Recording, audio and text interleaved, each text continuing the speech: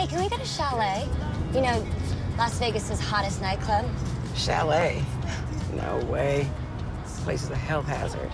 Do you want to get syphilis? We are not going to Chalet.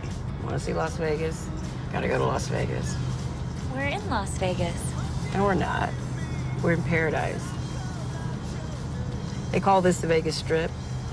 It's actually located in a census-designated area called Paradise. Paradise, Nevada. Most tourists don't know that. They think they're going to Vegas when technically they're in paradise. Well, maybe we should just stay in paradise. No. Paradise is processed cheese. You want a roller coaster and a fake Eiffel Tower and a bunch of people from St. Louis clapping for a friggin' pewterized fountain. Yay, robot fountain. No. You want the real Las Vegas, where the locals go.